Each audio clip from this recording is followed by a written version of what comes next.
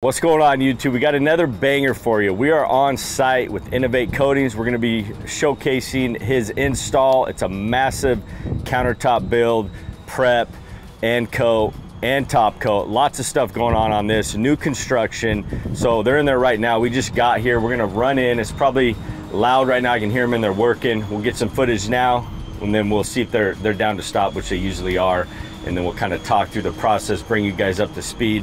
All you contractors, you're gonna wanna watch this. You're gonna see how easy it is to make lots of money installing these countertop kits. And DIYers, you're gonna see how simple it is to do it yourself. So let's, let's check it out. We'll head on in.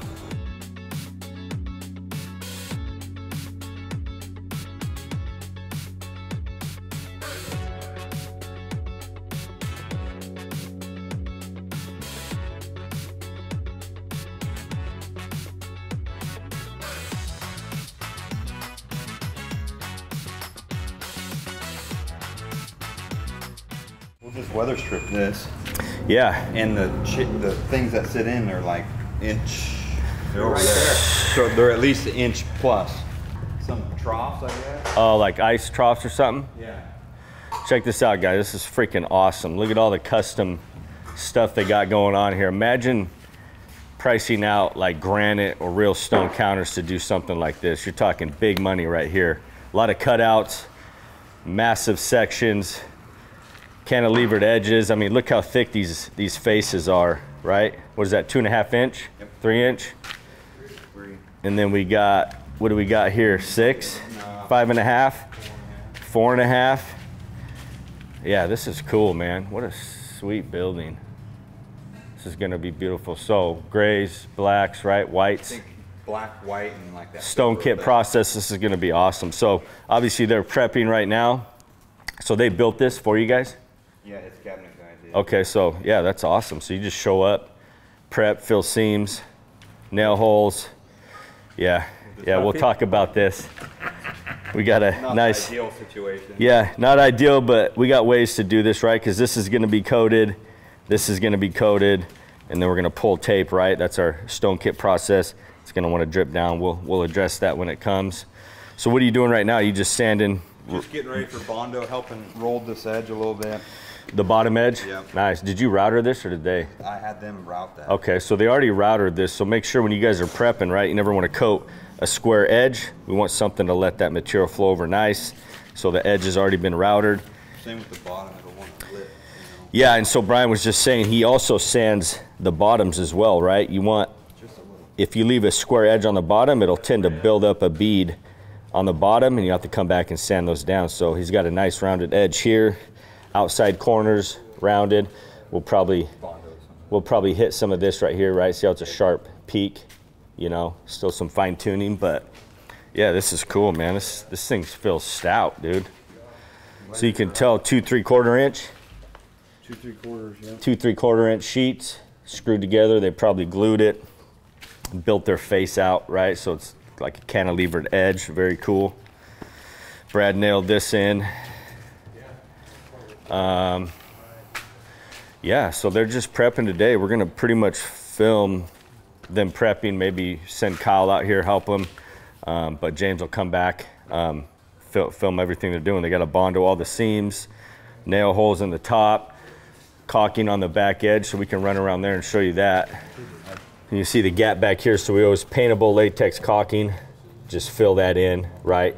If you have big gaps, like an half inch gap, you can put uh, what's that stuff called?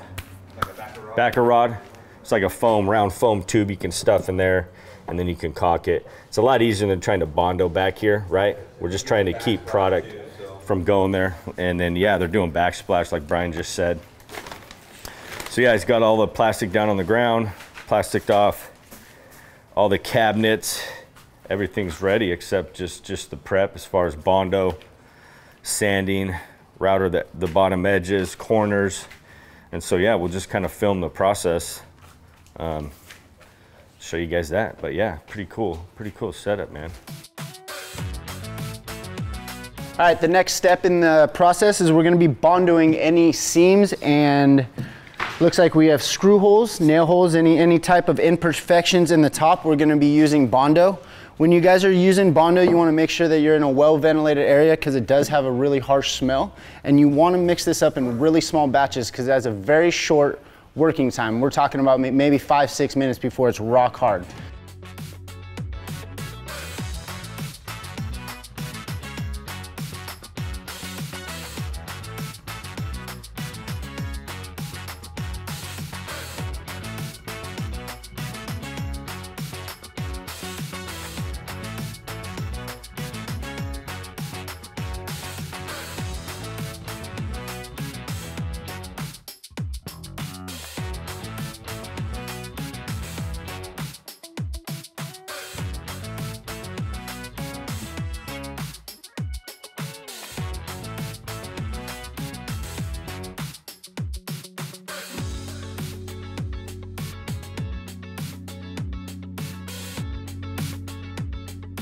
So we have most of the nail holes and the seams uh, filled with Bondo. The next step in the process, we're just gonna be sanding everything flush.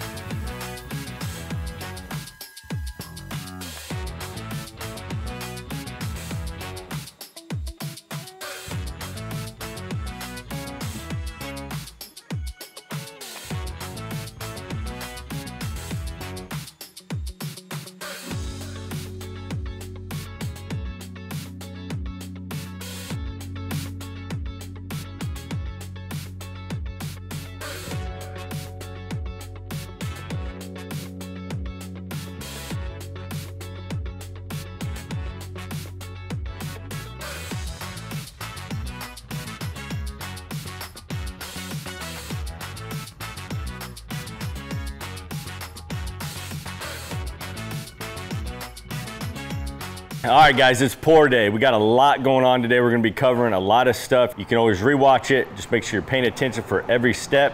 So what we're doing today is I'm gonna go over all the prep that they did yesterday. We got footage of that. I'll just kind of talk through that. Next thing I'm gonna talk about is the single items that Brian ordered off the site to do this counter. And then I'm gonna talk about mixing station. And pretty much we're gonna film this raw. James is gonna be walking around, filming pretty much everything. We're gonna talk about a lot of stuff things that come up, things that you guys need to look out for tomorrow. You guys are top coating tomorrow, right? Yeah. So we'll try to make it out tomorrow to show you guys top coat, but that's that's relatively simple. So first thing I'll go over is all the prep stuff they did. So you can see everything's bondoed, right?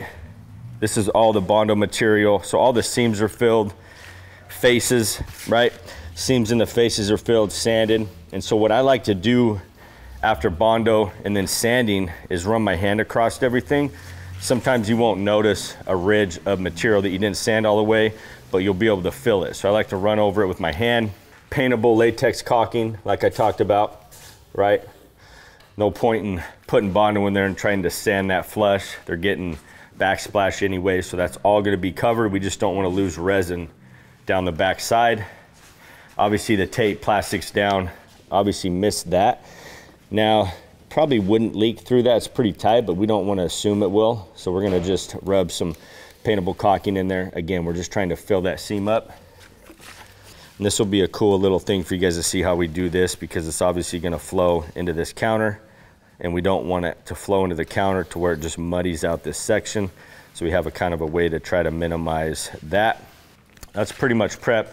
So our plan is since this is such a massive counter and there is some low spots where the counter kind of kind of the, the level is a little off. It wants to taper one way and the other. So what we're gonna do, since this is such a big pour and we're gonna put so much product down, we're gonna run our weather stripping on the edge, okay? And then we're also gonna tape the face like we usually do, right? We're gonna run two, two rows of tape. We're also gonna have the weather stripping. We're gonna get it poured. We're gonna pull the weather stripping, let it flow to the tape, and then by about that time, we're hoping it's set up enough to where we can pull the tape because I don't want to have any blowouts. What'll happen is if you have a low spot or the material wants to run to one section, it's going to build up there and it'll tend to push over the tape or seep through it and then it'll blow out and just start leaking resin. So we want to avoid that. Again, the main reason is because there is some, some slopes on this countertop. One of the biggest ones is right here. This counter is perfectly level. And then from this seam right here, it tapers off. And so we're probably gonna go two rows of weather stripping on this one because again, we don't want it to all build up here and blow out or make a different design. And so that's kind of the plan. Brian's going around wiping everything.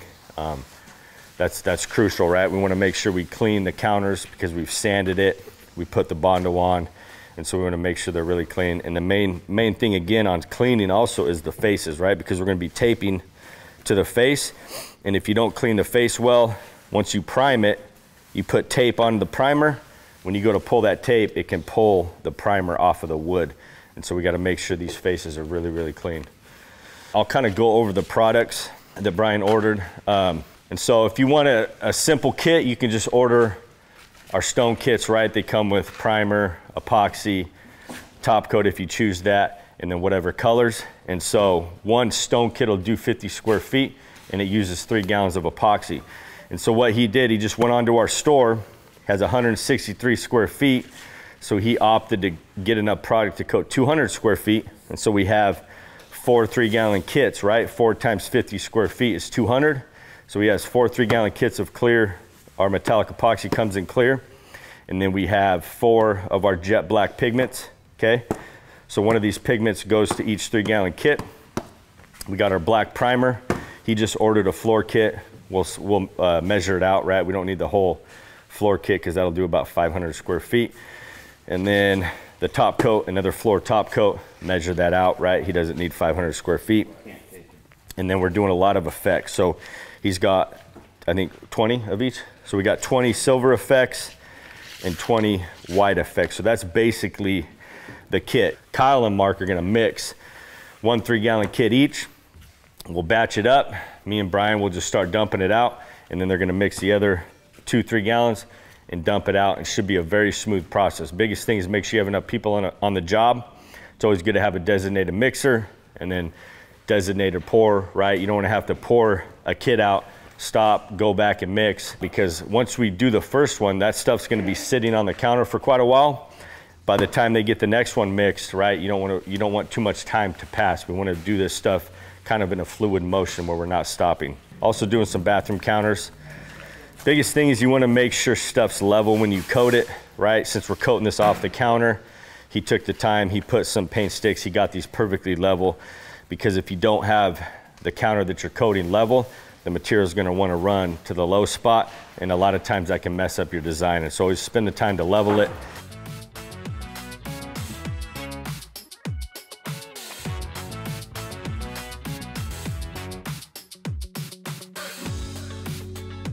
All right, so we got the primer down. It took us like 15 minutes to prime 163 square feet. So what Brian's doing right now with the dry roller, so I don't know, can you pick this up, James, so you can see how it's, maybe come over here. So like right here, everywhere the Bondo's at, it's not as porous as the wood. So the primer will just sit on there a little longer. Everywhere the wood's at, it kind of soaks in. And so he's just going around dry rolling everything to kind of help flash it off. And then we can put a fan get some air movement across this and it'll dry out even faster. But by the time we're probably ready to go and start mixing, this will be ready to put tape on, do our weather stripping, and we'll go over all that next. But we're just kind of fine tuning. Make sure you guys roll underneath your edges when you're priming. But yeah, pretty fast process. And so we'll go over, once this dries out a little bit, we'll go over taping the edge and then the weather stripping. All right, so we got the fans going on the background. This thing's pretty much 95% there. And what we can do instead of just waiting around is we can get the resin poured out the part uh, A's and then we can pigment the part A as well. And so that's what they're gonna do. They're gonna start pouring out the part A in the first two kits we're gonna make, add the jet black pigment, get that mixed in. And so when we're ready to go, all they have to do is add the hardener and then it just cuts out time, right? And so there's always something you can usually do while you're waiting for stuff to dry. All right, so we waited like 20, 25 minutes maybe. Primer's really tacky right? If I touch it, but it doesn't pull up primer. So it's not wet, it's just really tacky. This is perfect time to get the coating on. So what we're gonna do now is we're gonna run weather stripping around all the edges, even the edges here, right? We're gonna leave the weather stripping here. They have flanges that go out past the boxes that sit in here, so it'll cover that. And then we don't want to coat inside here because they won't fit. They're really snug. And so we're just going to leave the weather stripping on these. So this is the weather stripping we use. 3 16 tall, 3 8 wide, and then really simple to put on. So when we put it on, we want to make sure we're right to the edge, especially around these guys where we're leaving it. These guys will hang it in a little bit. Yeah, you want to hang it in. So we'll hang it in just a little bit on these. Just on these. Yep. These guys. This side we're fine. Okay, and then on, on this outside edge, we want to be right on the edge.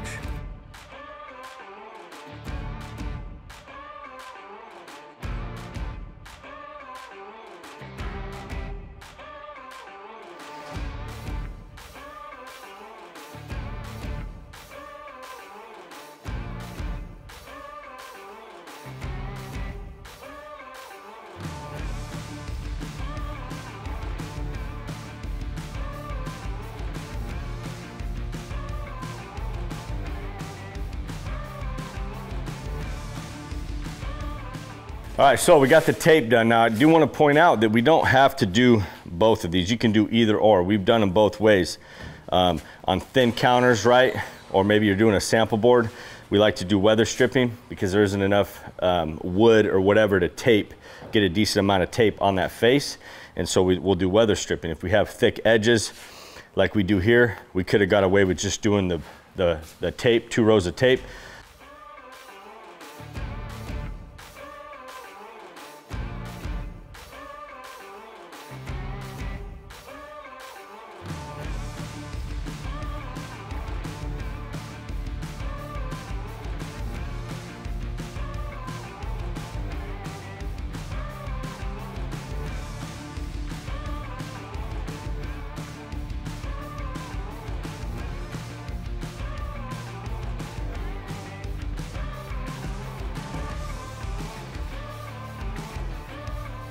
All right, so like I said, we want to move quick, get the stuff poured out as fast as we can. A few things I want to point out, right, is number one, we don't want to pour too much out in one section. So you're constantly going to be see us jumping around, pouring beads out, right?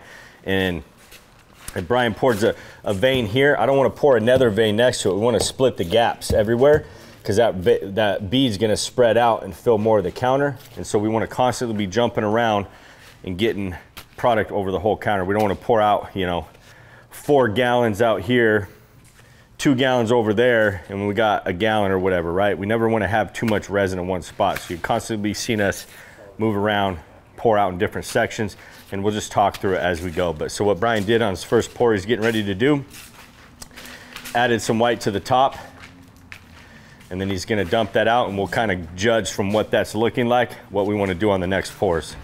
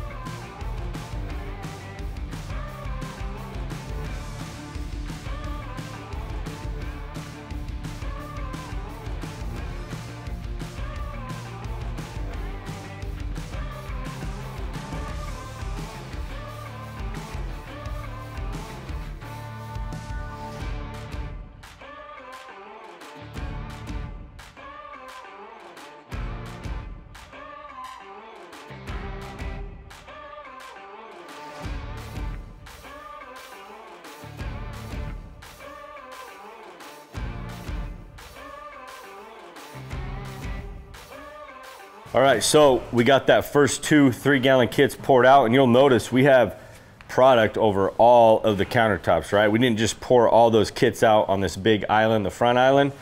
We jumped around and poured them all out over the whole project, I would say.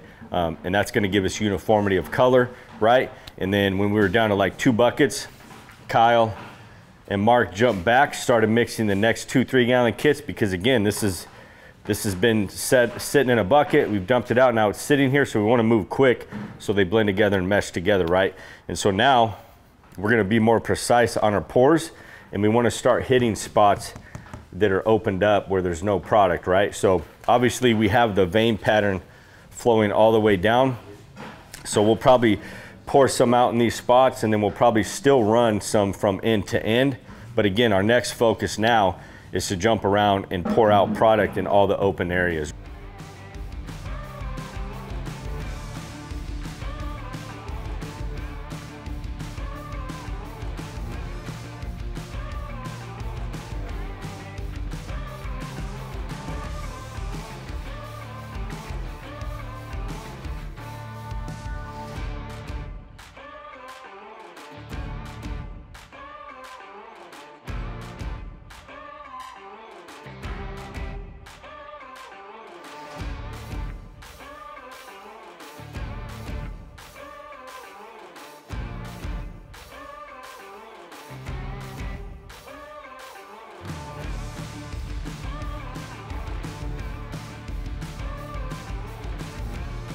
So once we're done, happy with the design, the next step is if you want to create some cells, some more wild effects to that top, you can spritz 91% or higher isopropyl and it'll kind of create some craters, some dispersing effects throughout it.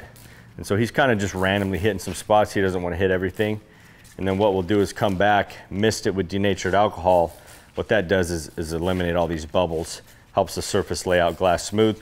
So if you don't want the dispersing effects, you would just simply mist the surface with denatured alcohol. And again, that'll pop any of the bubbles because we're creating bubbles with this process because we're constantly pouring resin onto the counter over each, over resin that's already on the counter. We're trapping air into it. So naturally we're gonna create bubbles. And so the resin's awesome. It'll, it'll, they'll just pop once we hit them with denatured. You'll see these bubbles just start to pop. Now, the trick on this is we don't want to flood the surface. We don't want to muddy out the veins. And so we want to hit it light. And then if we need to come back and hit it again, we can. So we'll kind of show you guys, you can see all the bubbles and stuff in right here. So when I hit it,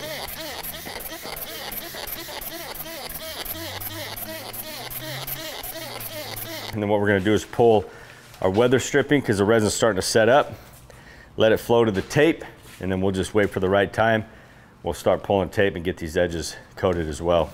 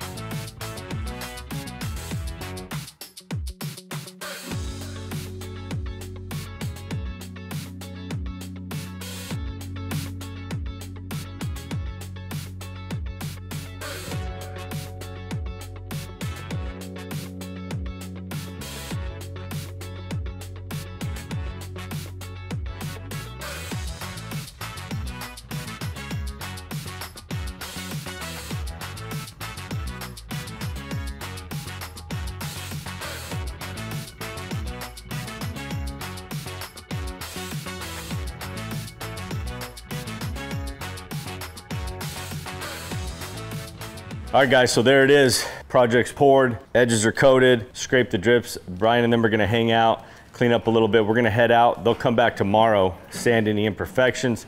Top coat, if we can make it, we'll try to make it. If not, we'll have him film it on his phone so you guys can see that. The cool thing about this process is you'll get veins going down the side at an angle. Like, so we got this vein coming down the edge at an angle, gives the look of real stone cut out of a slab. Yeah, it turned out awesome. I think we started like 10.30. It's one o'clock, so, or no, we started at 10.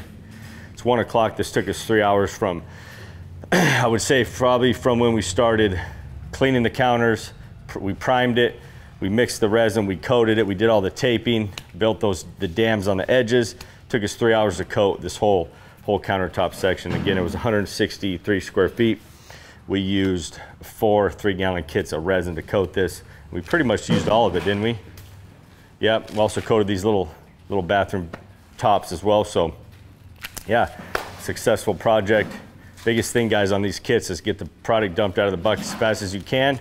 Um, don't let them sit there and then jump around. Make sure you're pouring out resin evenly throughout the countertop. That way you don't pour too much resin out in one section and not have enough though. Those are two vital steps. Projects this big, it's good to have some extra hands, designated mixers, designated guys to pour it out. Um, it's gonna make it go a lot smoother.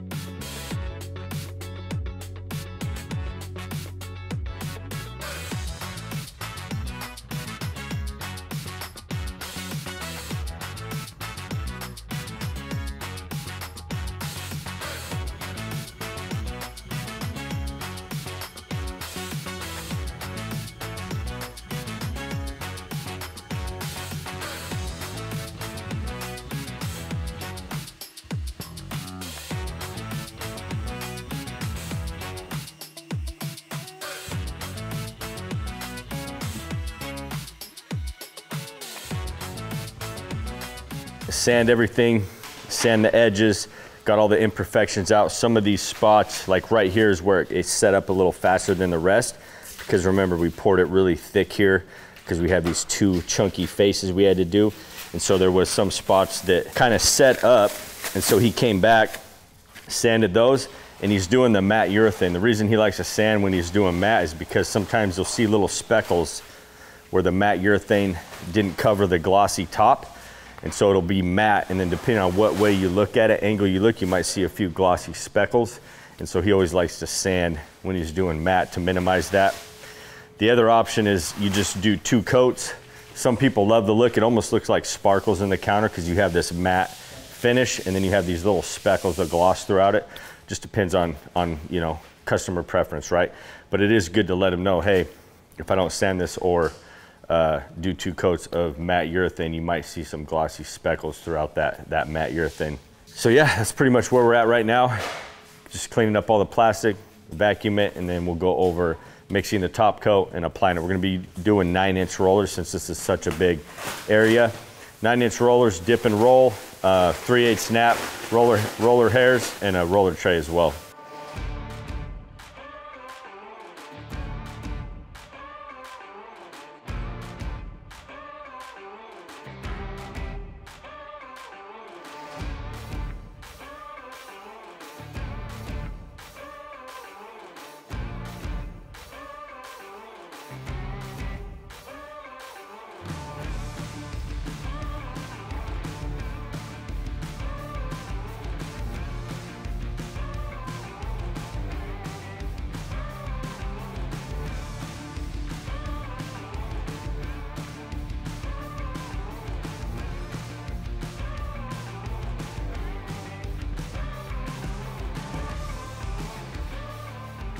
We'll come back when this project's complete. This thing's gonna be cool after footage with everything done, tables in here, all their equipment put on the counter. Um, and then obviously it's glossy right now. Once this dries, it's gonna have a matte finish, so it's gonna look like a, a honed countertop surface. It's gonna be re really cool. So we'll come back and show you guys that when it's ready.